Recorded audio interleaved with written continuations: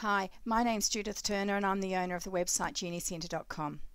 Ski pants are an alteration that's very difficult to do because the bottom of most ski pants you'll find a zipper which is on the outside leg and you'll also find what I call a pant skirt on the inside leg which has elastic at the end. Now this pant skirt is actually attached just above the zipper area or below the knee all the way around between the lining and the outer fabric. So that makes it a difficult um, alteration to do from that section.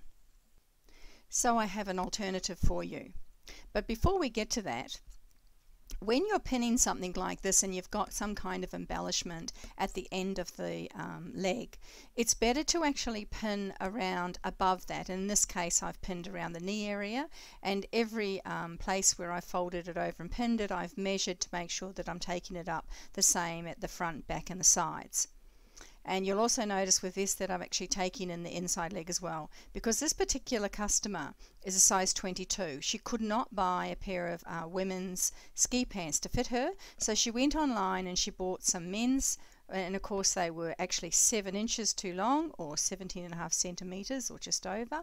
And also they needed to be tapered in uh, tapered in on the inside leg because they were just too wide this particular alteration took around two hours to do and I work on $40 an hour, so I charge my client $80.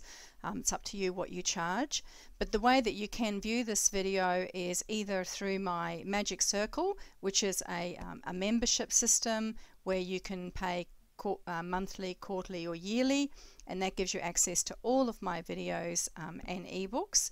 Um, and the other way is via my uh, video download where you can actually purchase an individual video and I'll send you the, the link to actually download it. You also may, may like to subscribe to my free monthly newsletter. Um, if you go to geniecentre.com, you'll find uh, on the home page there, there's a place for you to subscribe. Um, it's free and every month I try and do a free video and or just hints and tips.